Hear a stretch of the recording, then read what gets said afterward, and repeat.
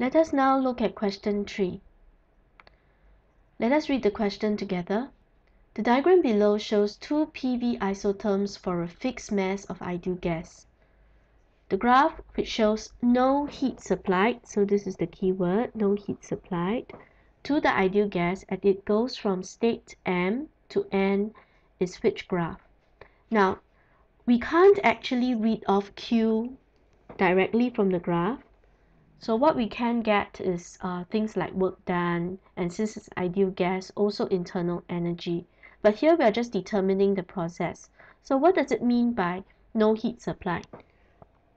Okay, it means Q equals to 0 and previous uh, previously in our lectures we have seen that this is known as the adiabatic process. So one quick way to do this question is to eliminate the processes that are non-adiabatic and see whether we can come up with the answer. So let's look at option A. So in option A, what we can see that the volume is constant. So this is an isochoric process or an isovolumetric process.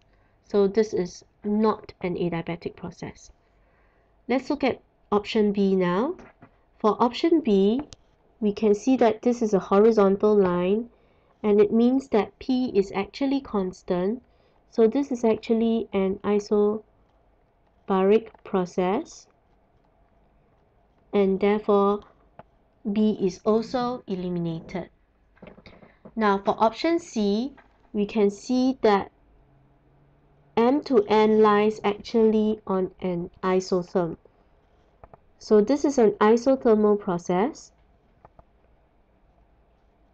And what it means is that the T is constant. So it means that D must be the answer. Okay?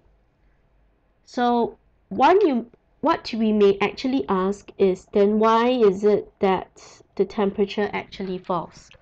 So to learn a little bit more, what we can do is look at what happens in for an ideal gas um, when no heat is supplied.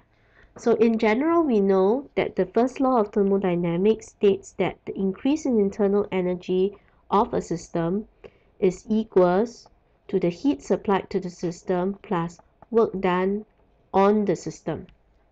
Okay, for an adiabatic process, Q is equals to 0.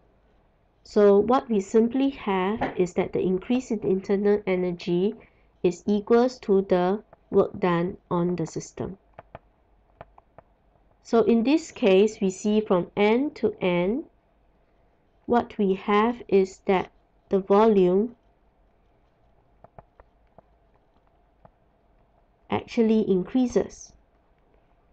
So what we have is actually positive work is done by the system.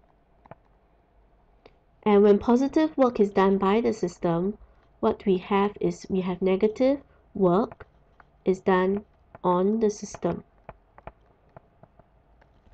So from the first law, what we can also see is that the increase in internal energy is actually negative. Now since this is an ideal gas, for an ideal gas, the increase in internal energy can be written as solely the increase in kinetic energy of the system since for ideal gases the potential intermolecular forces are negligible and therefore the change in internal uh, change in potential energy of the system is actually zero or potential energy is negligible.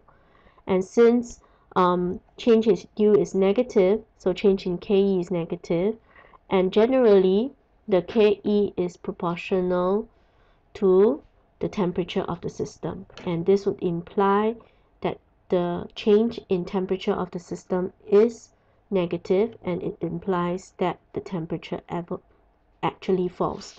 So the system must go from a point of higher temperature, higher temperature, T2, to a point of lower temperature.